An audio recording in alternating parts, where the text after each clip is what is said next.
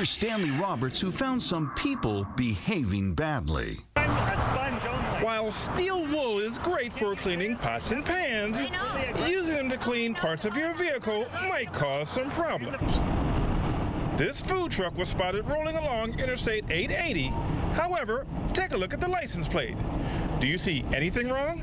If you say the license plate is hard to read, you are correct. Okay, driver, keep going until you see a large shoulder, or we're going to take the next exit. So the driver gets to have a chat with Officer Swartz of the Castro Valley office of the California Highway Patrol. Is this open? It turns out the plate was sprayed with 409 cleaner and scrubbed with these pads.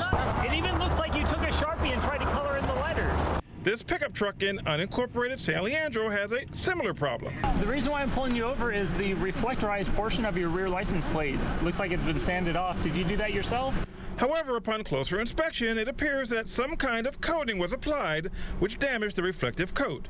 And when asked who applied the coating, I don't know. You don't know? Unless kids walk around and spray things. Okay. No, well, the I problem don't know. is a thing that's popular nowadays is people spraying their license plates with something that makes it so it's not reflective in order to no longer get red light tickets and uh, to evade toll violations.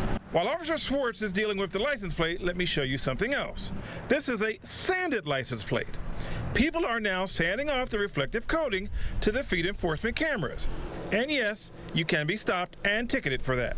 Another thing that you can be stopped and ticketed for Hi, good afternoon, sir. The reason why I'm pulling you over is you have that clear cover over your rear license plate. Yes. Is there any reason why you have that there?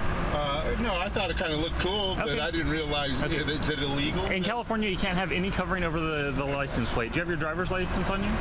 But the worst offender was this driver with paper plates. Not only is she missing her plates, No idea at all? Do you have any kind of registration paperwork? In fact, the vehicle was listed as inoperative. So, The registration hasn't been paid since 2011, so I am going to tow your car. riding with the Castro Valley office of the California Highway Patrol, Stanley Roberts, KRON 4 News.